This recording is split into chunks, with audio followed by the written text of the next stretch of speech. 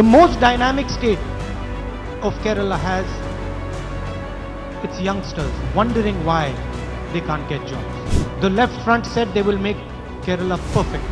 Question is, perfect for whom? Perfect for the people of Kerala or perfect for the left organization? If you're one of their people, if you're one of their people, every single job is available to you. If you carry their flag, any amount of smuggling of gold is allowed. You can sit in the chief minister's office and do that job.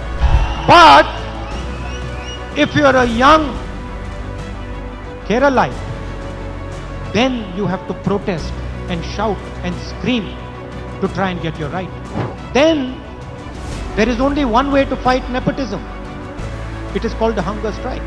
Then the chief minister does not care if you die, he's not going to come and speak to you. Why? Because you're not a left front worker. I guarantee you, if those youngsters were left front workers, the, prime, the chief minister would be sitting there talking to them right now, giving them every single job that they don't deserve. And when the Congress workers and the people of Kerala try to fight non-violently, you beat them and you kill them. Don't worry, there are many, many, many Congress workers who will continue to fight you. You can kill as many of us as you want. We are not scared of your violence. We are not scared of your methods.